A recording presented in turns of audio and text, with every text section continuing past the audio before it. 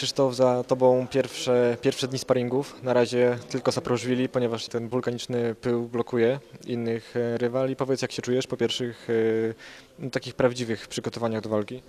Nie najgorzej, no widzę, że forma wyszkuje i, i czuję się i, yy, i ruszam się coraz lepiej i że tak powiem wagą już jest unormowa, unormowana, chociaż ja nie miałem jakby większego problemu z wagą, ale, ale tak jak ważyłem 94-95 to, to troszeczkę czułem się cię. Jest, jest, yy, zdaje mi się, że wszystko idzie zgodnym torem, tak jak powinno się układać i waga i, i przygotowania i wszystko zgodnie z planem. Już masz przećwiczone jakieś takie typowe akcje na Fragomeniego? E, Typowa akcja, no typowa akcja to mocny lewy prosty wbijać, gdzie to będzie taka, wydaje mi się, e, chyba jedna z najważniejszych rzeczy, które tutaj będę musiał podczas tej walki robić. E, no i konsekwentnie dążyć, e, do, raczej dążyć, do, konsekwentnie e, zdobywać punkty, wygrywać rundę za rundą, żeby jak dojdę, przypuśćmy, nie wiem, do 8-10 rundy, żeby nie było żadnych wątpliwości, kto tutaj e, wygrywa, tak? I prowadzi, więc e, będę starał się utrzymywać jakby wszystkie rundy do, do, do jak najpóźniej, prawda?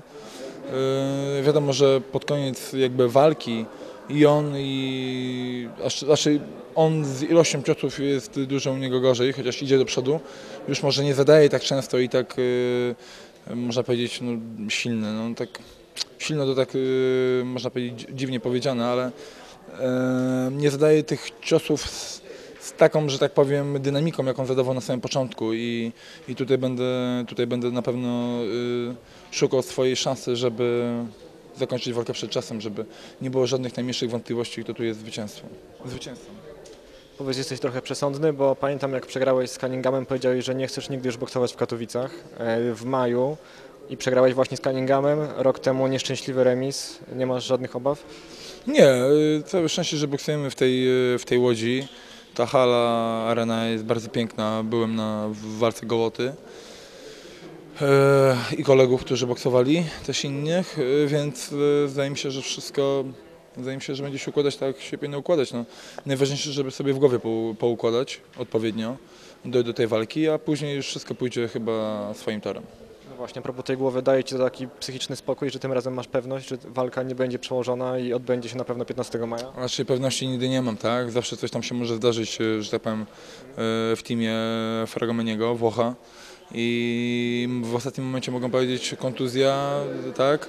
Naboje większe niż fuzja, więc, więc e, może być zawsze jakiś problem wyniknąć z tego, ale mam szczerze nadzieję, e, że, że nic nie przeszkodzi nam e, w dojściu do celu i zdobycia tego mistrza świata.